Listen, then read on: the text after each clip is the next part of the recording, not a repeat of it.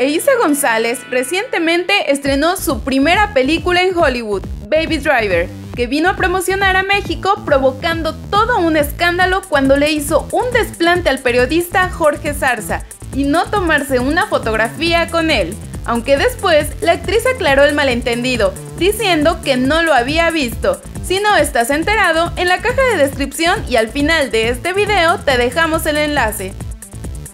Ahora, tal parece que tanto trabajo de grabación y promoción de la película tenía que tomar un descanso, y es por eso que visitó Disneyland, y en el video publicado por ella misma, se le puede ver a Isa con dos de sus amigas en un inflable rosa con forma de ostra, cantando el tema de la sirenita Part of Your World.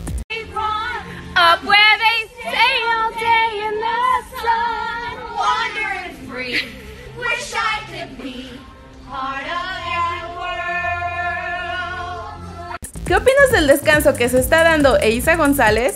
Déjanos tus comentarios, si te gustó el video dale like y suscríbete.